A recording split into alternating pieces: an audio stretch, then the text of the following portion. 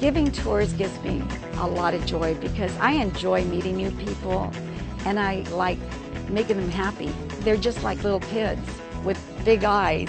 It took me until I was 66 years old to realize that I was born to be a tour guide.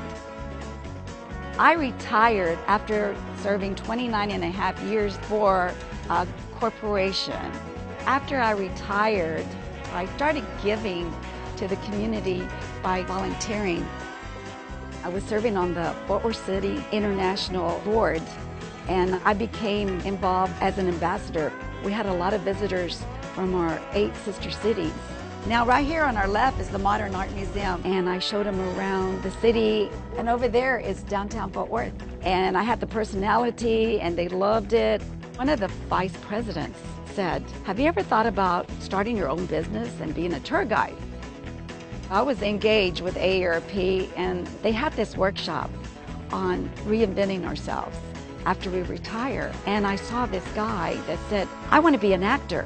What did he have to lose? And I thought, well, if he can be an actor, I can be a tour guide. That pushed me over.